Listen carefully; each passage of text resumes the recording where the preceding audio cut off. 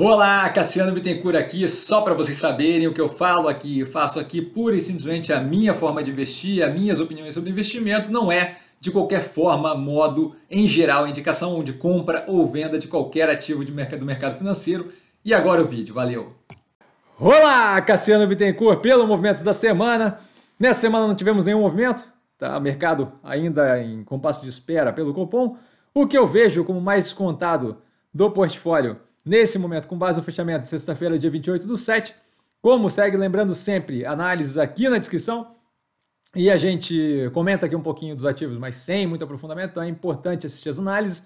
A gente começa com Via, que vem é, com precificação descasada do que tem, do que a operação tem entregado no que tange é, evolução ali do operacional, obviamente um pouco pressionada pelo carregamento é, pelo custo de carregamento da dívida mais elevada, com juros nesses níveis, e a economia brasileira um pouco mais pressionada, os motores de crescimento, tanto a parte do banco na financeira quanto a parte de logística, bem positivo.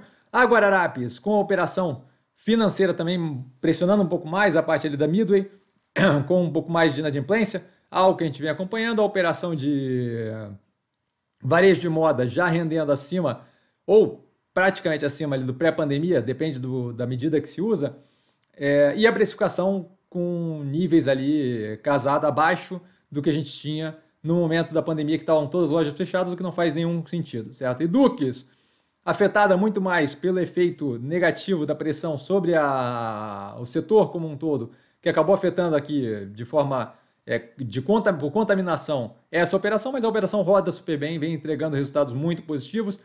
A XP vem com um, cenário menos positivo por causa do risco percebido mais alto nesse momento, mas algo que deve melhorar agressivamente com a inflexão do macro, que deve justamente trazer uma demanda maior para a parte de investimento em renda variável, que é justamente a parte mais forte da operação, deve refletir bem positivamente no resultado. A Pets entregando consistentemente resultado, com um pedaço considerável das, das lojas em maturação, o que deve trazer melhoria do resultado operacional da empresa. É uma operação que vem com uma queda no preço muito agressiva que eu não vejo como casado com o que ela vem entregando, então acho aí que a gente tem um espaço ali de ganho para ter com o ativo. Açaí, já analisado o segundo trimestre de 2023, no canal o resultado veio muito positivo, muito alinhado com o que a gente comentou na primeira análise, com, na, na, na análise passada, na verdade, quando entrou no portfólio, com questão ao crescimento mais agressivo, investimento mais agressivo nesse momento, a operação vem entregando aquilo e fazendo um trabalho muito, muito forte, muito positivo.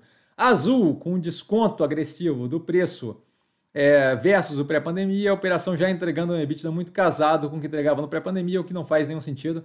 A gente tem ainda um espaço aí de redução da alavancagem é, que se faz necessário e positivo, mas é algo que, que eu vejo capacidade da operação de entregar. A Cogna, com a operação menos positiva do que a Edux, mas ainda assim a precificação descasada da realidade, com preço ridiculamente descontado versus o pré-pandemia, a operação vem entregando geração de fluxo de caixa, estabilidade ou redução na alavancagem, consistentemente melhoria no operacional ali das várias, é, das várias alas ali, áreas, segmentos da, da, da operação. Tá? Então não vejo sentido.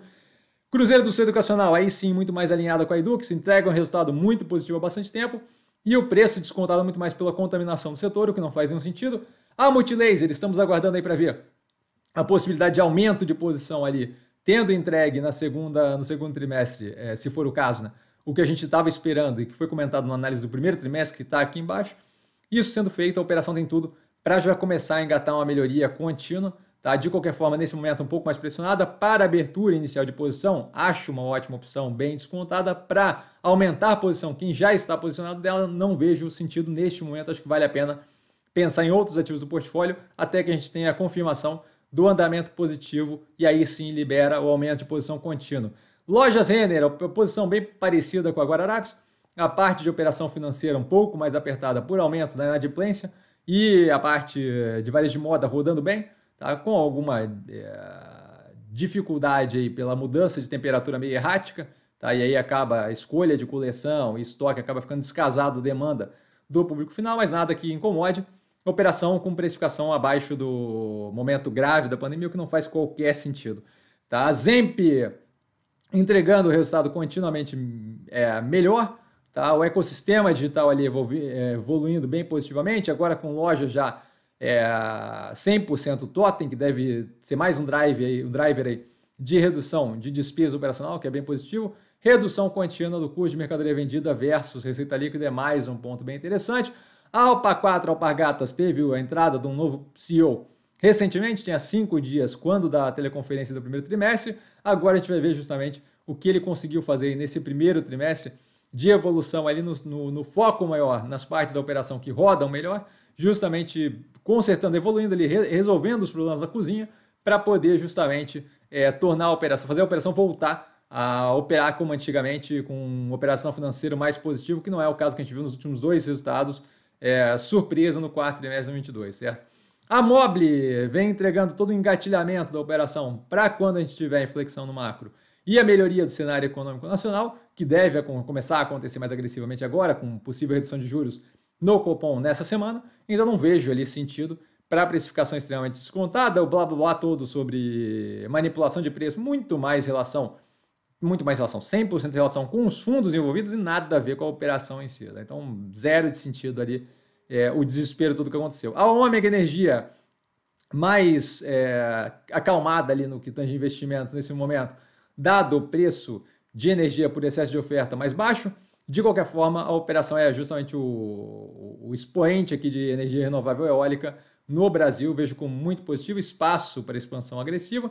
Nesse momento ali tocando a, o desenvolvimento da Goodnight One no Texas e da Suroa 5 aqui no Brasil. Neogrid, operação que vem também com aquele trabalho de foco nas partes mais rentáveis da operação, a gente deve ver isso daqui 100% feito até o quarto trimestre de 2023 ou primeiro trimestre de 2024.